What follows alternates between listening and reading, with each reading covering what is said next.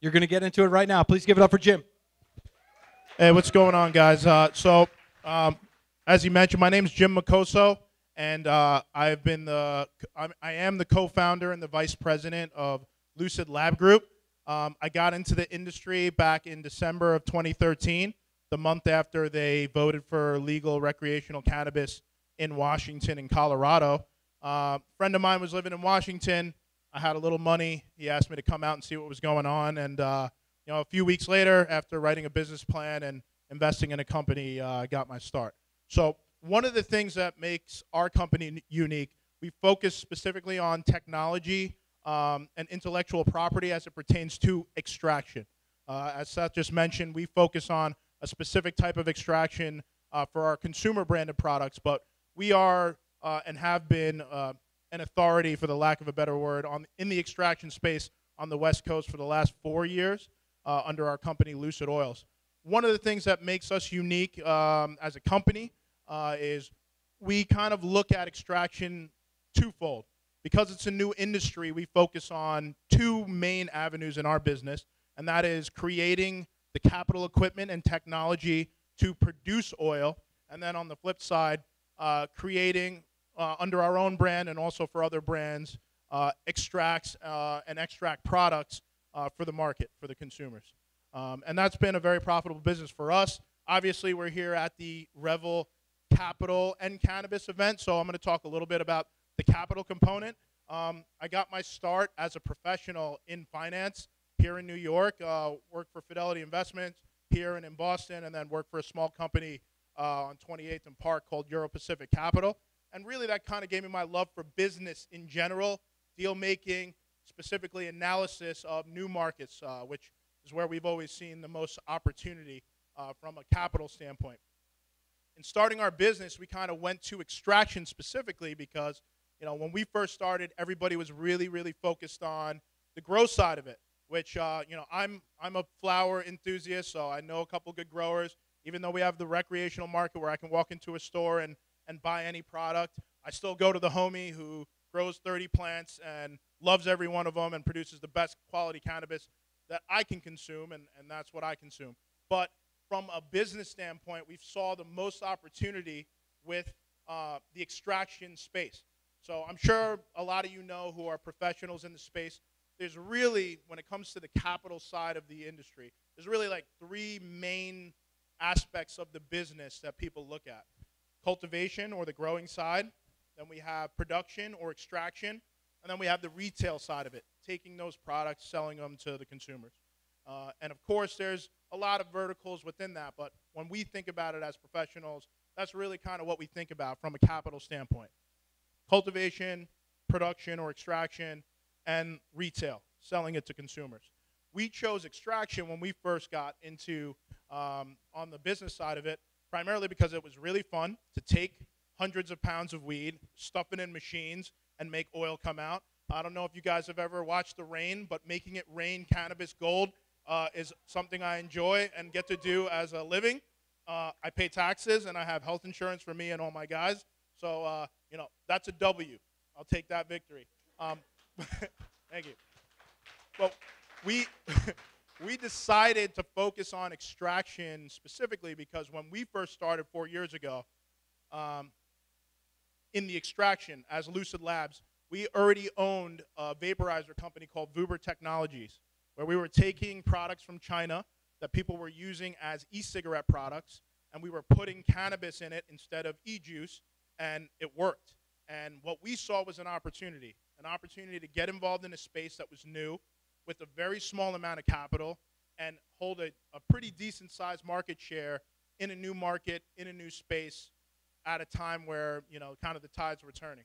And that was a very unique opportunity for us. You know we got to start with a very small amount of capital.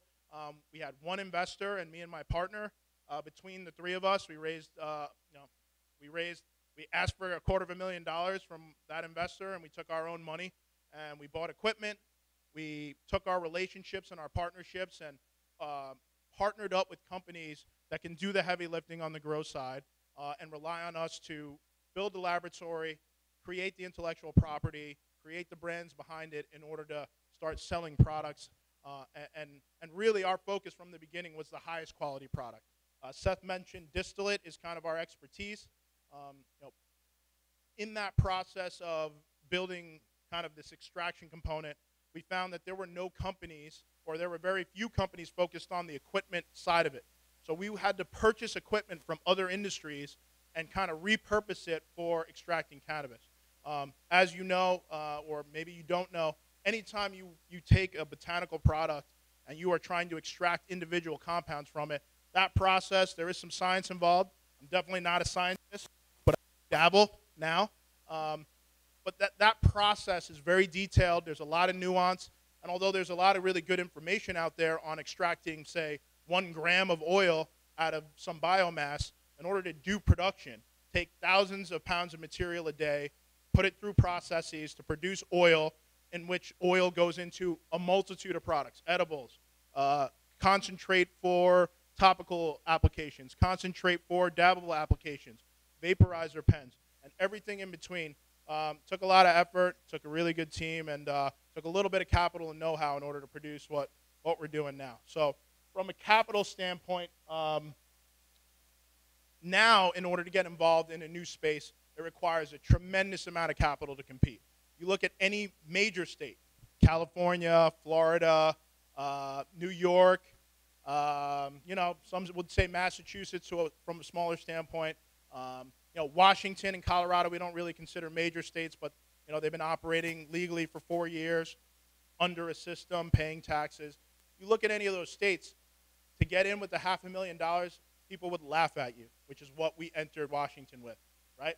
But if you're first to market, it would require a little bit less capital than, say, coming in after the market's already open and trying to buy your way in, where there's already competitors with their shops set up with a tremendous amount of market share. So, you know, I would encourage anybody who's looking at the space, obviously I'm biased, extraction, in my opinion, is one of the easiest ways um, to get in. If you have a really qualified team with experience, you have some capital, and you have relationships, in other words, partnerships where people are taking care of the cultivation and uh, taking care of maybe even the real estate and the licensing components of it, um, and you can come in with some capital and focus on the lab, uh, you can do quite well, and uh, in my opinion, is a little less capital intensive than, say, cultivation or retail. So um, that's something I would encourage anyone to really consider when they're looking at this from a capital standpoint. Uh, we think this side of the market, extraction specifically, is going to continue to grow.